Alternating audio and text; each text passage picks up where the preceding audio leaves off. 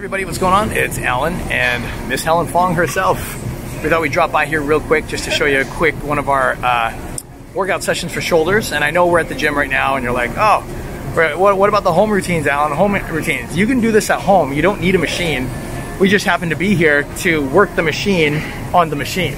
Yeah, the machine, the machine. So, here, hello ladies. So here's what we're doing. I'm gonna flip this camera over real quick. Just give me a second. Yeah, I can do it. And all we're doing is Helen's gonna do a single arm, which again, you can do at home. Now you're gonna notice real quick that this is really light, and it's supposed to be, but it's actually not because they're eight pounds a piece.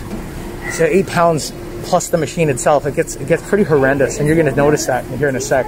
What Helen's gonna do is she's gonna tighten her abs, she's gonna push her feet into the into there, that's gonna push her back into the seat, and then she's gonna lift with two hands, so bring it up, and then let go one arm, slowly control, bring it down with one arm, and push up, up, there, one. There you go. And what she's doing is she's using her abs, she's using her legs, and she's keeping her upper body upright, which is real, there you go, it's hard to do.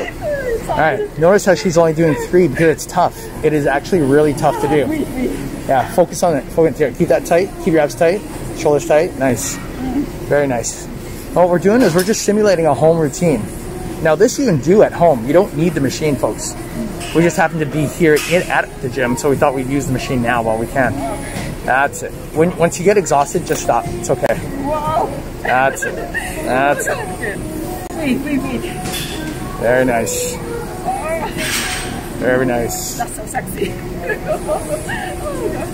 nice. Okay. Good, good. Yeah, but use two hands to lift it. Two hands. That's it. So what we're working on here right now is we're working a bit of the tricep. Hard to breathe, I know. Up, right there. And we're only going to the 90 degree mark. Once she surpasses 90 degrees, it's too hard at this point to lift up. Still keeping the abs engaged. Still pushing the shoulders back so she's not twisting her body. She's flexing her legs. You can't tell because it's in black, but she's flexing. And she's pushing her feet down. Keep the head straight, head straight. That's it. And she's putting all that tension into the shoulder, into the trap muscle. My guys, sorry. It's super hard. That's right. Good job. Good job. One more. That's it. Good. Time. Time, time, time. Cut. Okay. Very nice.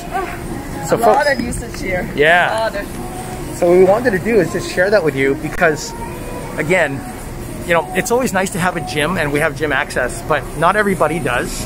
And that alone was already, I mean, you can tell how tough that was, right? Yeah. Like, tell me real quick, like, what did you feel when you're doing single arm?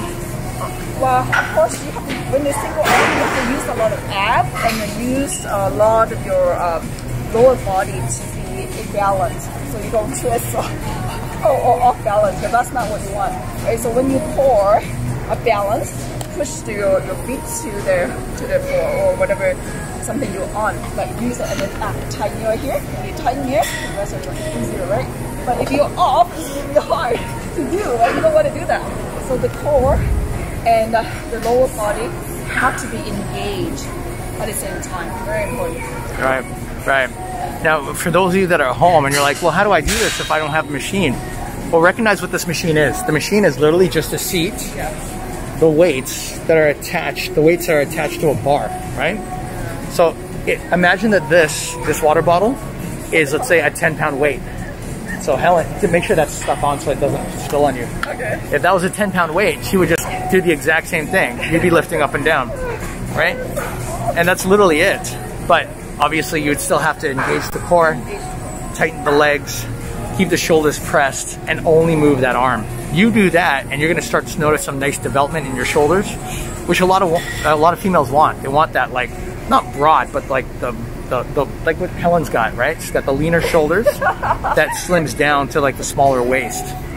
For those of you that want to have a smaller waist, this is what you want to do. Everybody focuses on just making the smaller waist, which is smart. But if you focus on building the shoulders, it accentuates the, the small image of a smaller waist. And in closing, that's exactly what you want to go after if you want to make this look smaller. Still work the abs, of course, but work your abs and work your shoulders as well. And this is one of many ways that you can do it. Okay? Nice day, ladies. Thank you, Ellen. Thank you. Thanks, Helen. Thanks, everybody.